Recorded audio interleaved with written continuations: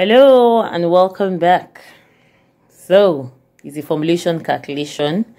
This is something that is really on popular demand, shall and then okay.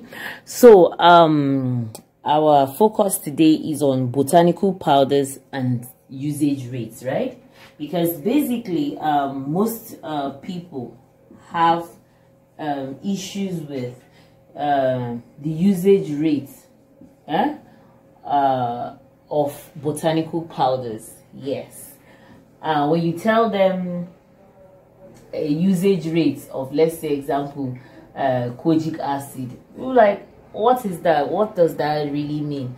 Um, now, what it really means is the amount. It's just like you're taking medication and they tell you two in the morning, two in the afternoon, and two in the night. Now, following the dosage is what makes the medication um, effective. So the same thing too with um, botanical powders. They have usage rates. So following their usage rates is what makes the um, uh, the product effective. When you underuse, of course, the product is not going to work. When you overuse, of course, it's going to work, but it's going to give you a negative result. So um, our focus today is on actually botanical powders.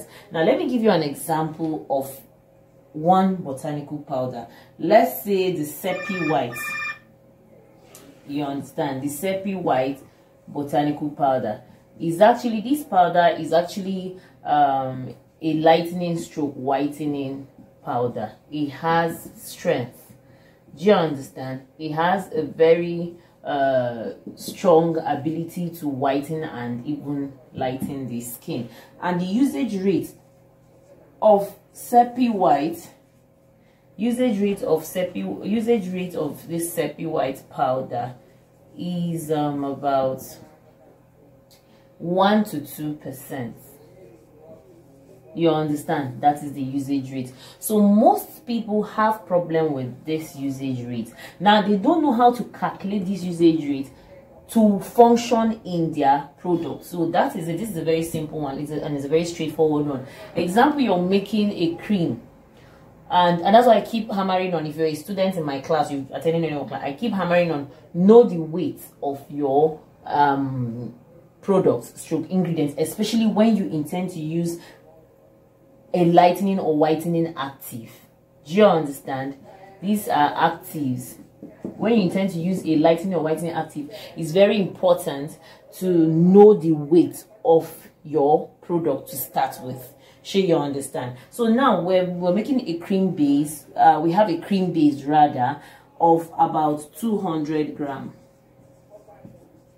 of about 200 grams right and in this cream base now this is your cream base after all the mixture.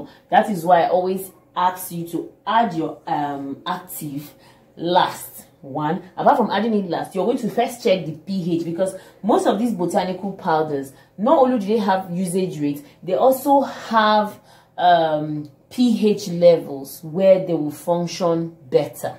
When you carry something like um, kojic acid that is actually acidic and you put in an in a, in an extreme alkaline situation it might not work the way you want it to work. When you put a very good active like let's say vitamin b3 niacinamide prefers working in a neutral environment. When you put it in an extremely alkaline condition it won't function properly. It will function but it won't function properly. Take note. And if put in an extremely acidic um, condition it also won't function or it will function but won't function rightly. So um not only are usage rates important knowing the ph also level of these um botanical powders are very very important. So when you finish mixing your product you need to balance ph whatever um botanical powder you choose to use good for you but you need to also balance the ph first. Okay now let's go straight up um 200 grams of base cream is what you want to use SepiWhite. Now, just know that the percentage rate, this is 1 to 2. So, depending on what you want, know that when you put your um, SepiWhite at 1%, you're going to have a lightening effect. When you put it at 2%, you have the possibility of having a whitening effect, especially when you combine it with another active. Are we clear? When you're combining, so you have to make sure the actives that you're combining have similar pH so that they can coexist. You understand? So basically, this is it now 200 grams of base cream and maybe we intend to put SepiWhite at 2%. Do you understand? It's a simple mathematics. Anything percentage we all know is over 100. So it's going to be 2 over 100 times 200 equals to what are we getting? Is a simple arithmetic. You know, that kind of thing. Let's go this way. Let these zeros cancel these zeros. Hmm? What are we left with now? We're basically left with 2 times 2 all over 1 which of course you know all over 1 is as good as just 2 times 2 so 2 times 2 here now is what 4 gram so in a base cream of 200 gram you're going to put 4 gram of your seppi white so basically that is how to calculate usage rate in your formulation calculation. I hope is well understood right? All right thank you so much. And don't forget to subscribe to my youtube channel like my video share my video and see you in another video. Bye